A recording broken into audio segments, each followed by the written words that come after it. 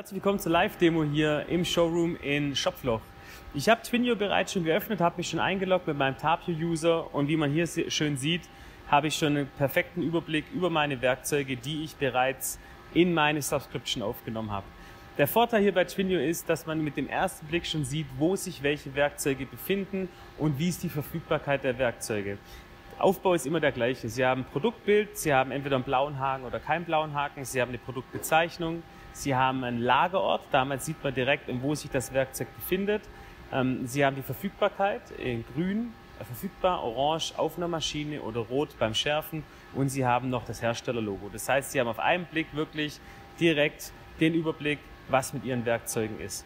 Sie haben die Möglichkeit, auch hier ähm, quasi auf ein Werkzeug drauf zu klicken und dann kommen unterschiedliche Aktionen, die Sie für das Werkzeug oder mit dem Werkzeug durchführen können. Ich gehe hier mal auf ein Werkzeug drauf. Man sieht eigentlich hier recht schön nochmal ähm, das, was man am Überblick hatte, auch nochmal in diesem einen Sheet hier zusammengefasst. Sie haben direkt schon den Überblick über die Prozessparameter des Werkzeuges, also Maximal können es drei sein, also Prozessparameter im Sinne von Schnittlänge, also wie viel Schnittlänge hat das Werkzeug, äh, Zerspanvolumen oder Anzahl an Schnitte bei Sägeblättern. Sie können als Kunde hier den Grenzwert schon selber setzen, also aus, so gefühlstechnisch einfach setzen, wie viel ungefähr das Werkzeug schafft. Und dann sehen Sie über die aktuellen Werte, ob der Grenzwert richtig gesetzt wurde, ob er nochmal angepasst werden muss. Und dann soll es Ihnen einfach auch helfen zu verstehen, wann das Werkzeug denn zum Schärfen rausgehen sollte. Wenn man hier zum Beispiel auf den Grenzwert draufklickt, sieht man auch eine schöne historische Betrachtung der Daten. Das heißt, wenn Sie ein Werkzeug zum Schärfen einbuchen und es kommt vom Schärfen zurück und Sie beenden den Schärfzyklus, dann startet ein neuer Zyklus des Werkzeuges bei Null und das wird hier historisch aufbereitet dargestellt. Das heißt, Sie sehen hier immer im Bereich zum, im Vergleich zum Grenzwert und zum aktuellen Wert, wie denn in den vergangenen Zyklen Ihr Werkzeug performt hat. Über den Stift hier unten können Sie den Grenzwert immer anpassen und können manuell den aktuellen Wert eingeben. Sollten Sie eine Maschine haben, die, eine Konnektivität zu Tapio hat und eine technische Voraussetzung hat, kann auch bei einer Säge beispielsweise diese Werte aktuell direkt automatisch in Twinio geschrieben werden. Das heißt, Sie müssen hier nicht aktuell die Werte manuell eingeben, sondern Sie haben nach jedem Produktionsvorgang werden die Prozessdaten direkt in Twinio geschrieben und Sie haben so immer den Überblick, wie Ihr Tool in diesem momentanen Zyklus performt. Gehen nochmal auf das Werkzeug drauf. Der Bereich Prozessparameter oben sehr prägnant, äh, weil man einfach hier Optimierung für seine Werkzeuge fahren kann. Sie können dann auch hier dem Werkzeug einen Lagerort zufügen. Hier war jetzt gerade kein Lagerort vorhanden. Ich nutze jetzt einfach mal hier die Möglichkeit und sage, ich buche das erstmal in ein Werkzeuglager ein, in einen Platz 8 beispielsweise. Und hier sieht man dann direkt, dass der Werkzeuglager, äh, Werkzeuglager 1 und Platz 8 ausgewählt wurde. Das Tool ist verfügbar, es ist in keiner Maschine und nicht beim Schärfdienst. Sollten Sie zum Beispiel dann auch hier den Lagerort ändern und ich nehme zum Beispiel jetzt eine Maschine, gehe hier auf Bestätigen, dann ändert sich die Location und es ändert sich auch die Verfügbarkeit des Tools. Alles in der Übersicht. Das heißt, Sie müssen nie rein navigieren in, eine, in ein Tool. Sie können das Werkzeug zum Schärfen an, äh, aufgeben. Dafür muss das Werkzeug erstmal aus der Maschine raus. Twindio ändert Sie daran. Ich sage, jawohl, Lagerort zurücksetzen. Jetzt könnte ich das Werkzeug zum Schärfen einbuchen. Mache ich später. Ich will Ihnen noch auf jeden Fall zeigen, dass Sie hier auch das Werkzeug manuell vermessen können.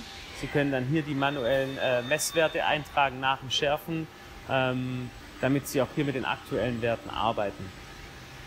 Unter dem Bereich Mehr können Sie bestimmte Parameter bearbeiten. Sie können aber auch Dateien hinzufügen oder das Werkzeug archivieren, wenn es nicht mehr in Gebrauch ist, kaputt ist oder Ihren, der Lebenszyklus äh, vorbei ist vom Werkzeug. Es ist also wie ein Löschen, nur wir archivieren die Werkzeuge für Sie damit sie einfach zukünftig auch ein bisschen den Blick haben auf die Werkzeuge, welche sie in der Vergangenheit hatten. Bei Datei anhängen können Sie dann über Datei auswählen, entweder aus der Fotomediathek ein Bild hochladen oder ich nehme ein Bild auf. Dann können wir zum Beispiel jetzt hier so ein Detailbild aufnehmen von oben. Ich nutze dieses Bild. Sie könnten es auch nochmal jederzeit löschen. Wenn es aber okay ist für Sie, lade ich quasi das Bild hoch und das Bild erscheint dann in der Detailansicht hier unter dem Bereich Bilder und Dokumente. Sie sehen links das Produktbild, das kommt direkt vom Hersteller, gekennzeichnet mit einem blauen Haken. Hier habe ich schon zwei Bilder äh, hinzugefügt. Ich kann auf die Bilder klicken, ich kann sie löschen, ich kann sie mir groß anschauen. Ich kann aber auch PDF-Dokumente hochladen. Das heißt, neben Bilder, JPEG, PNG-Dateien auch PDF-Dateien. Zukünftig wird es auch so sein, dass die Werkzeugbegleitkarte, die ihr oftmals auch analog bekommt, hier auch digital erfasst wird und mit als Dateianhang äh, mitgeschickt wird. Aber sie ist ja auch hier schon digital vorhanden. Nochmal zurückzukommen auf die blauen Haken. Blaue Haken heißt, die Hersteller haben sich schon aktiv integriert in unser System. Leuco, AKE, AGEFA, Canefusa, all diese Hersteller schicken uns bereits jetzt schon Daten vorab und diese Daten können Sie als Kunden dann nutzen, um ein Werkzeug direkt mit aufzunehmen in Ihre Werkzeugverwaltung. Dann sehen Sie auch hier, sind hinter dem blauen Haken Originaldaten der Hersteller, quasi diese Daten, die Sie auf einer Werkzeugbegleitkarte auch finden, hier bereits digital vorhanden. Das heißt, Sie scannen hier unterschiedliche Codes der Werkzeuge, ob es jetzt Data Matrix Code oder QR-Code ist, und nutzen dann die Möglichkeit, mit dem integrierten Scan das Werkzeug aufzunehmen. Apropos integrierten Scan, wenn Sie auf die Kamera gehen und ich gehe hier auf äh, Zulassen, kann ich jetzt zum Beispiel auch hier ein Werkzeug scannen und komme direkt auf das Werkzeug und kann dann direkt weiterarbeiten, kann die unterschiedlichen Aktionen durchführen, die Sie gerade gesehen haben. Auch ein Riesenvorteil von der Integration dieser Hersteller. Neben den bereits äh, Originaldaten, die Sie als Kunde bekommen, können Sie über die Codes natürlich auch äh, die Werkzeuge direkt identifizieren.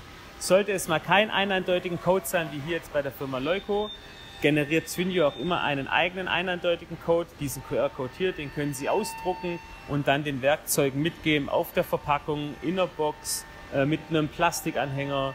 Und dieser Code ist immer eindeutig und hat einen eindeutigen Code dahinter.